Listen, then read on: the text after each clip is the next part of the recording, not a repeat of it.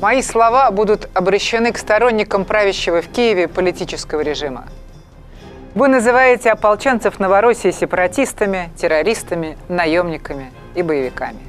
А то, что устроила киевская власть на Донбассе антитеррористической операцией. Запомните раз и навсегда. На юго-востоке Украины идет русская национально-освободительная война – в ходе этой войны восставший русский народ Донбасса с оружием в руках отстаивает свое неотъемлемое право на самоопределение, а также свободное установление политического статуса. Данное право закреплено в двух базовых документах ООН. В Международном пакте о гражданских и политических правах, а также в Международном пакте об экономических, социальных и культурных правах. Для тех, кто не знает, напомню – Оба документа основаны на всеобщей декларации прав человека. Захватив власть, украинские националисты третий год проводят на Украине политику геноцида в отношении русского населения.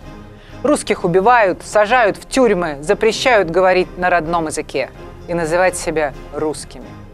В этой ситуации священная обязанность каждого русского человека, где бы он ни находился, встать на защиту своего народа, если потребуется, то и с оружием в руках.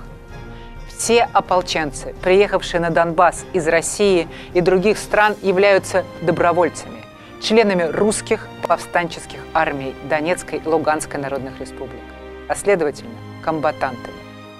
Восставшие против киевского режима русские республики имеют в вооруженном конфликте на Донбассе статус воюющей страны, на которую распространяется право вооруженных конфликтов том же объеме, что и на признанные государства. С точки зрения международного права, каждый военнослужащий республик, принимающий участие в боевых действиях в составе вооруженных сил, имеет в этом качестве особый юридический статус – комбатанта. Наступит день, и правящий на Украине политический режим падет.